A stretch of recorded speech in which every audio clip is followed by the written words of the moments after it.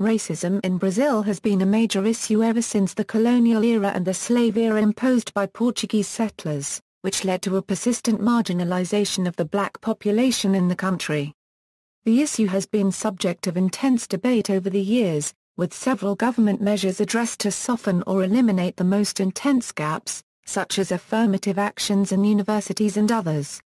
On the other hand, since Brazil is a multicultural country, without any traces of a national-wide racial unity, having its population formed by immigration from several parts of the world, other ethnicities tend to suffer lesser levels of discrimination, if any.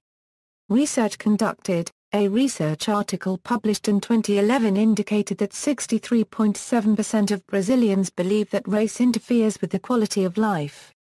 At work, 59%, in questions related to police justice, 68.3%. Results conducted in 2008 supposedly show that people are not surprised about this difference Euro although a large percentage of the population is black or has black ancestry, they represented no more than 8% of the 513 chosen representatives in the last election year.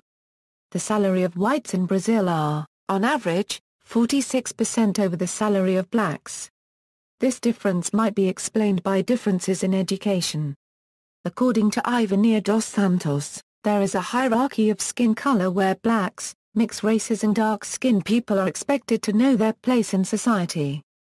A study on racial bias in teacher evaluations in Brazil found that Brazilian math teachers gave better grading assessments of white students than equally proficient and equivalently well-behaved black students.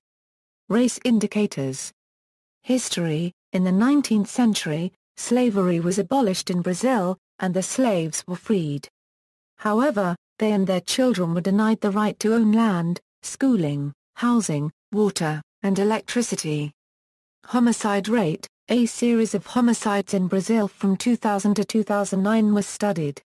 The explanatory variables were race skin color, gender and education. The death statistics were obtained from the Mortality Information System.